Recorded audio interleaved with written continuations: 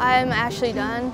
I'm 15 years old. I'm from Palmdale, California, and I've been bowling for seven years. Last year, I bowled in Grand Central, and I won the 14 and under division. I really didn't get to go sightseeing in New York, so if I have a chance to do that, I would love to do that. In Illinois, they actually teach you bowling in PE, so they set up like plastic bowling pins and like you have rubber bowling balls. So that kind of is what got me into bowling the most important shot is your next shot.